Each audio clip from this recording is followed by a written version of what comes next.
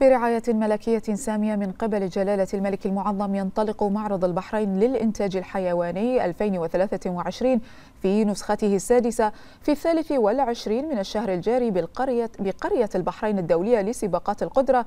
في حدث يعكس اهتمام المملكة في الحفاظ على الثروة الحيوانية وتعزيز تحقيق الأمن الغذائي. هذا وأكد سعادة المهندس وائل بن ناصر المبارك وزير شؤون البلديات والزراعة أن المعرض ستكون أبوابه مفتوحة للجمهور منذ الثالث والعشرين من الشهر الجاري ولمدة ثلاثة أيام مشيرا في الوقت نفسه إلى أهمية هذا المعرض. باعتبار قطاع الإنتاج الحيواني أحد أهم الركائز الأساسية في تعزيز الأمن الغذائي وترفض الاقتصاد الوطني. وأكد المبارك إلى حرص المملكة في المساهمة بالارتقاء بهذا القطاع الحيوي من خلال تبادل التجارب وتعزيز الرعاية الأولية الوقائية ودعم المزارعين وتطبيق أفضل الممارسات والتقنيات. وبناء القدرات وفقا لمعطيات الاستراتيجية الوطنية للتنمية الزراعية المستدامة.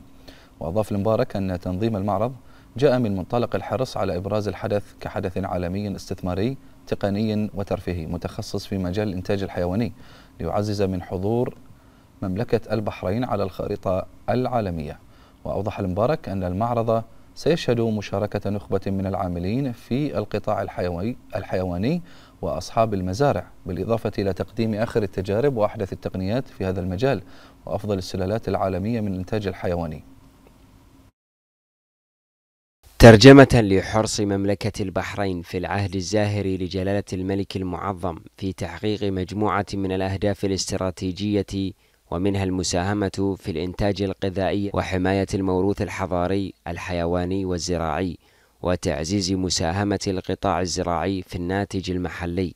جاء تنظيم معرض البحرين للإنتاج الحيواني منذ نسخته الأولى ليكون شاهدا على المنتج المحلي ويساهم في تعزيز الأمن الغذائي ويرفد الاقتصاد الوطني.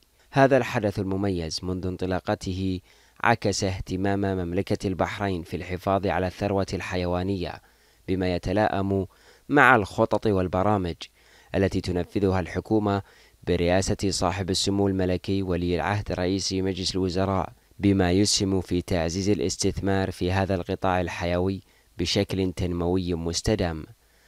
ويأتي إعلان تنظيم النسخة السادسة من معرض البحرين للإنتاج الحيواني 2023 استكمالا للمبادرات والمشاريع الاستراتيجية الوطنية الهادفة لرفع مساهمة القطاعين الحيواني والزراعي في تحقيق الأمن الغذائي عبر توفير أفضل الفرص الاستثمارية.